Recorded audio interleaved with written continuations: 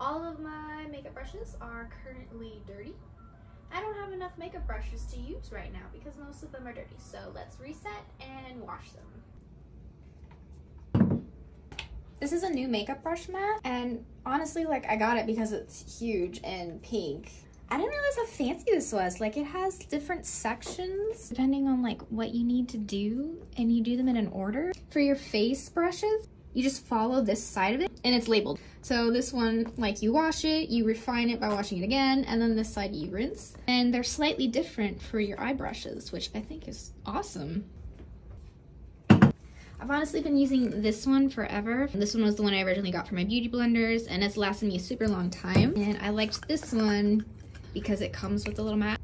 But I'm almost out of this. I've used this like crazy. So we're gonna be trying this. It has a lot of really good reviews. It has alcohol in it, so I know it's gonna be sanitizing as well.